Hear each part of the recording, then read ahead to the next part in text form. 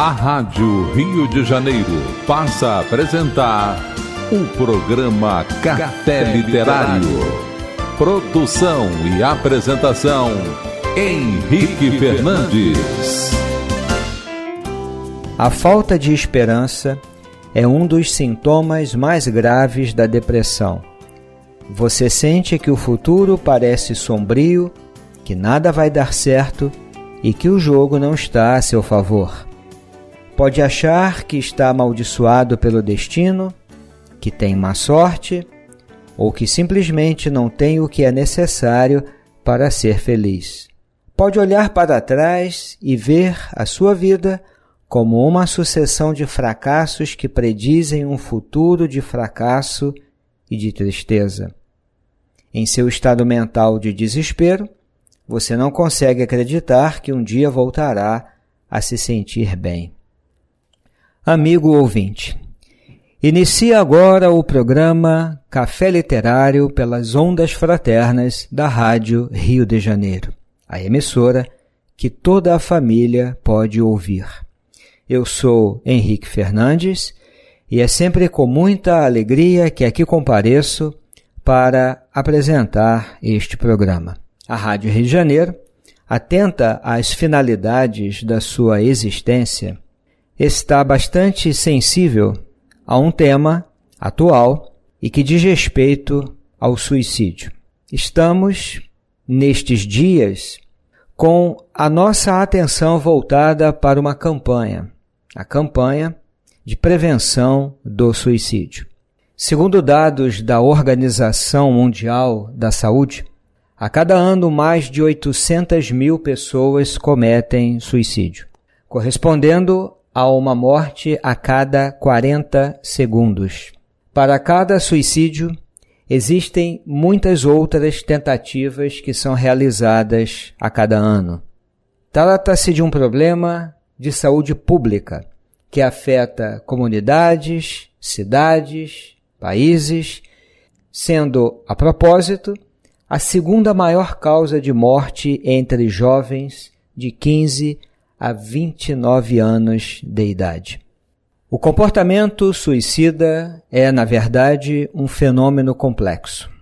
Significa dizer que não é possível encontrar uma única causa ou um único estressor capaz de explicar na sua totalidade, na sua abrangência, o comportamento suicida. Os especialistas atualmente reconhecem a multicausalidade de fatores, quer dizer, existem muitos fatores associados ao comportamento suicida. Entretanto, Considera-se que uma parcela de mortes por suicídio possa ser evitada por meio da utilização correta, adequada, de estratégias de prevenção. Essa é uma palavra-chave, uma expressão-chave. Estratégias de prevenção, que na realidade envolvem a colaboração de diferentes setores da sociedade torna-se mais do que necessário um esforço conjugado, integrado, considerando que nenhuma abordagem isolada, sozinha, terá o impacto esperado diante de um tema tão complexo como é o comportamento suicida. Um grande estudioso do tema, que na verdade é considerado o pai da suicidologia, que é o estudo do comportamento suicida, Edwin Schneiderman. Um dia ele escreveu que o nosso objetivo constante é a prevenção, mas antes deve vir o entendimento sobre o tema. Por esta razão, é absolutamente necessário para prevenir o suicídio que nós compreendamos muito bem todos os aspectos desse tema bastante complexo. O programa Café Literário, ao longo de algumas semanas, vai falar neste sentido, não exatamente do comportamento suicida, mas dentro desse conjunto de estratégias adequadas para prevenção do comportamento suicida, nós vamos falar da esperança. O valor que tem a capacidade de o homem desenvolver a confiança na vida. No fundo, significa, olhando por outro lado, saber lidar com os grandes desafios da vida, com as perdas, com os problemas, com as situações que escapam completamente do nosso controle, lidar, enfim, com a complexidade que é a própria vida. E considerando que a depressão é um transtorno na área do humor muito associado ao comportamento suicida, e considerando ainda que no quadro depressivo nós vamos lidar com a desesperança ou a falta de esperança na vida, nós resolvemos, ao longo de alguns programas, falar um pouco dessa questão. Como superar a falta de esperança? Amigo ouvinte, para orientar os nossos comentários, eu trago um texto básico, muito importante, que já foi comentado aqui em mais de um programa no Café Literário e que se chama Vença a Depressão antes que ela vença você. O autor é um psicólogo clínico muito conhecido na atualidade. Ele realiza os seus estudos, suas pesquisas, seus atendimentos nos Estados Unidos e publicou obras muito importantes, todas elas voltadas para as questões psicológicas. Uma delas trata da questão das preocupações, uma outra fala dos processos da regulação emocional, uma outra ainda trata da ansiedade. Há um outro livro que ele trata de temas mais técnicos no campo da psicologia clínica. E esta obra, como nós já citamos, se chama Vença a Depressão antes que ela vença você. É uma publicação da editora Artmed, de Porto Alegre, nos Estados Unidos. Essa obra foi publicada no ano de 2010 e aqui entre nós, no Brasil, no ano de 2015. É uma obra atual, portanto, uma obra completa, eu diria, que trata dos vários aspectos ligados à depressão, mas no programa de hoje, como o tema é a esperança, como superar a sua falta de esperança, nós vamos abrir o capítulo 3, que vai falar exatamente disto. Nada dá certo. Como superar a sua falta de esperança. E por isto nós começamos o programa lendo um pequeno texto do capítulo em questão, que a falta de esperança é um dos sintomas mais graves da depressão. Como é que funciona a pessoa que perde a esperança em dias melhores, como se comporta, como pensa e como sente aquela pessoa que vivencia a desesperança. Quem é que não está sujeito a isto? Você que nos ouve agora, talvez conheça pela própria experiência o que é a desesperança. Ou talvez esteja lidando com alguém na família ou entre os seus amigos Alguém que olha para você e diz assim: Eu perdi toda a esperança na vida. Eu não acredito mais que eu possa experimentar a alegria de viver, que eu esteja caminhando para dias melhores. Afinal, as lutas têm sido intensas, inglórias. Não vislumbro nenhuma possibilidade de mudança, de transformação desses cenários de dor, de perda, de sofrimento.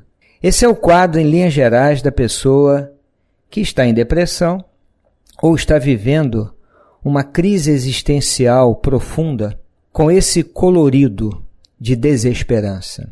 A pessoa olha para o amanhã e percebe aquela nuvem cinzenta, é um cenário sombrio. Tem a certeza de que nada vai dar certo, nada vai funcionar, e como diz o autor, o jogo não está a nosso favor. Há um ponto primeiro que nós precisamos comentar, querido ouvinte, a respeito da desesperança, dessa perda do otimismo e da confiança na vida. Isso de fato traz muito sofrimento. Mas há um primeiro ponto que o nosso autor analisa e que eu quero aqui destacar. e que diz respeito exatamente ao significado da desesperança. Vamos lá. Será que a desesperança é um reflexo preciso da realidade de vida da pessoa? Ou isso faz parte de um problema, por exemplo, que é mais comum, a depressão? Em outras palavras, a falta de esperança é um sintoma ou é um reflexo exato daquilo que a pessoa está vivendo? É uma pergunta importante essa. E ele vai dar como um parâmetro de comparação, de raciocínio, o exemplo da febre. O que é a febre? Pode ser um sintoma de um processo infeccioso. Então você vai, coloca o termômetro e mede a temperatura do seu corpo. Encontra lá 39 graus centígrados. O que, que isto significa? Significa que a temperatura do seu corpo está em 39 graus. Mas o ambiente não tem essa temperatura. É diferente. Então isso significa dizer que a falta de esperança é um sintoma, como a febre é um sintoma. 39 graus é do corpo, mas não é do tempo externo, o tempo do ambiente. O termômetro que está na rua não vai indicar 39 graus. Então, da mesma forma, nós podemos começar a entender que a falta de esperança é como uma febre, é um sintoma. Significa alguma coisa que você está vivendo. Faz parte dos seus processos internos e é muito comum acontecer quando a pessoa está em depressão. Falta de esperança, então, não representa na realidade o que é a vida. É o que eu estou sentindo, não é aquilo que a vida é. Então, se eu, por alguma razão, pela depressão, pelas perdas, pela crise que eu estou vivendo existencial, pelo meu quadro emocional, se hoje eu experimento a falta de esperança, isso é uma coisa, é o meu processo. Não cabe dizer, por exemplo, que a vida não tem sentido. A vida não tem esperança. Assim é a vida. Assim é a realidade. Um todo sem sentido e sem propósito. Isso é o que nós chamamos na psicologia, amigo ouvinte, de uma distorção cognitiva. E quando a pessoa está normalmente no quadro depressivo, o sentido desaparece, o sentido da vida some. A pessoa não enxerga mais. E é comum que ela experimente essa falta de esperança, a desesperança. E é comum também, dentro desse quadro de confusão, digamos assim, é difícil a pessoa entender isto. Isto é um sintoma, é uma febre. Eu estou sem esperança.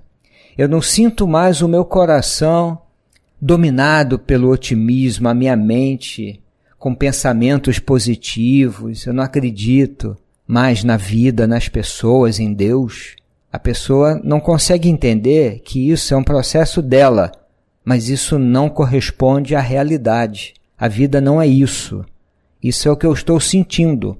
Amigo ouvinte, eu estou insistindo um pouco nessa explicação que Robert Leahy nos enseja no seu texto, porque de fato isso é muito importante.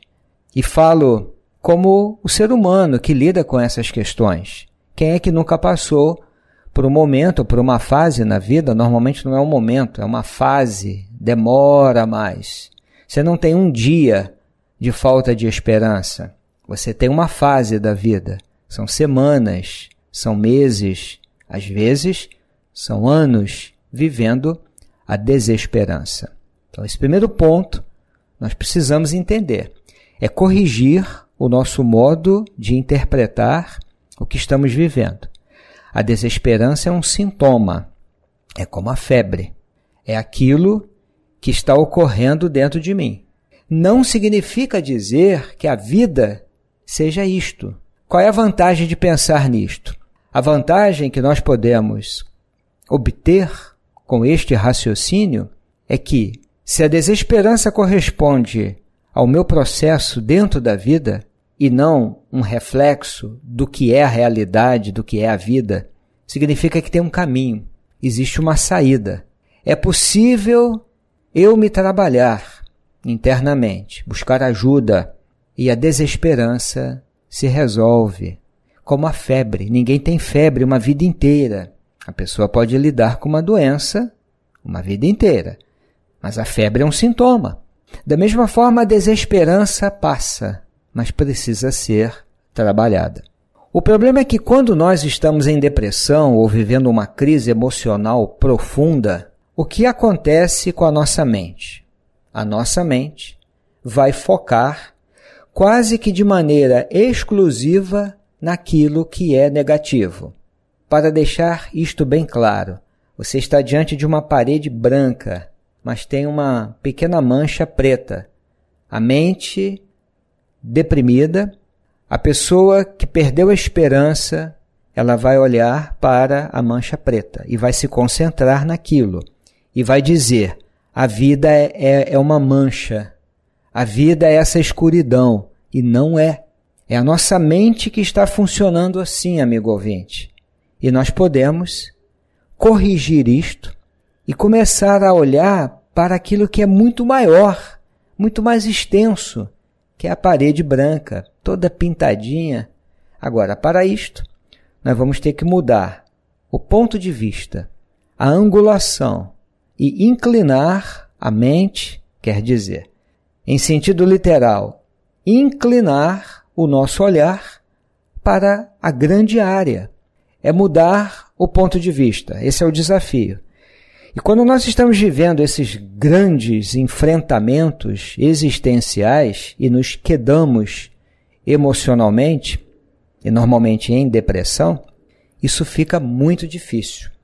É quando a pessoa, então, no fundo dessa espiral descendente do humor, uma dor de desesperança que leva a outra, que encaminha para outra, é uma decepção que leva a uma tristeza, é a tristeza que aprofunda a decepção, é uma nova perda que aumenta a tristeza e o indivíduo vai descendo numa espiral, e por isso nós chamamos uma espiral descendente, ele vai afundando até chegar ao fundo do poço do desespero existencial. É quando, lamentavelmente, e em muitos casos, a mente enxerga como um caminho para superar essa dor é o suicídio. Não é que a pessoa queira morrer, ela quer matar a dor, aniquilar o sofrimento. Por isso a gente precisa, no momento em que nos voltamos para a prevenção do suicídio, precisamos começar a entender que o comportamento suicida é sempre uma atitude radical definitiva, permanente, para uma dor temporária. Esse é o ponto, amigo ouvinte. A desesperança leva a mente a acreditar que o caminho para superar esse sofrimento é aniquilar a vida, quando ele quer, em realidade, aniquilar é o sofrimento, é a dor, porque dói muito. O próprio autor chega a dizer, na conclusão desse capítulo, uma das coisas mais difíceis de fazer é sentir falta de esperança e ainda assim prosseguir, porque é difícil mesmo. Na linguagem religiosa, nós diríamos que é, é quase insuportável atravessar as ruas do mundo sem a fé, sem a esperança. Esta mesma ideia aparece numa mensagem belíssima do espírito Meimei, pela psicografia do médium Francisco Cândido Xavier, página que se intitula Confia Sempre. E ela vai dizer exatamente isto. De todos os infelizes, os mais desditosos são os que perderam a confiança em Deus e em si mesmos. Porque o maior infortúnio é sofrer a privação da fé e prosseguir vivendo. Vejam que Robert Leary disse algo bem parecido, numa outra linguagem, é claro, no outro contexto, mas se referindo a essa dificuldade de prosseguir na vida sem a esperança. Por isso, amigo ouvinte, no programa de hoje nós começamos a falar um pouco deste tema. Eu recomendo a leitura deste livro, em particular o capítulo 3, que vai falar exatamente dessa questão. E para resumirmos, o ponto para a nossa reflexão é este: entender que a falta de esperança não é uma resposta, é resultado daquilo que a vida é a falta de esperança diz ou se refere àquilo que eu sinto. É o meu processo interno e não revela aquilo que é a realidade da vida. Voltando ao exemplo da mancha preta na parede branquinha. Quando a minha mente, perfeccionista ou deprimida, pessimista, só olha para a mancha, então eu posso concluir: a vida é isso. É uma escuridão? É uma mancha? Não, não é isso. Isso é o que eu estou vendo. A vida é muito maior. Colocando a questão de outro modo, é preciso que entendamos que quando estamos vivendo no clima da desesperança, da falta de otimismo, no clima, portanto, do pessimismo, nós começamos a fazer predições sobre o amanhã, coisas do tipo: eu não serei feliz, a vida não tem sentido, não posso confiar em ninguém, nada dá certo e nada dará certo na minha vida. Quando pensamos assim, nós estamos fazendo essas predições com base nas emoções e não com base nos fatos. Em outras palavras, ainda, amigo ouvinte, a desesperança mostra o que eu sinto, o meu processo interno não mostra o que é a vida, a realidade da vida. Por isso, amigo ouvinte, existe um caminho, existe uma saída. Eu peço licença para ler um trecho final da mensagem da benfeitora espiritual Meimei, citada há pouco. Eleva, pois, o teu olhar e caminha. Luta e serve. Aprende e adianta-te. Brilha a alvorada além da noite. Hoje é possível que a tempestade te amarfanhe o coração e te atormente o ideal, aguilhoando-te com a aflição ou ameaçando-te com a morte. Não te esqueças, porém, de que amanhã será outro dia. Estas palavras nos fazem lembrar do Cântico da Esperança de Rabindranath Tagore um dos maiores poetas hindus. Não peça eu nunca para me ver livre de perigos, mas coragem para afrontá-los.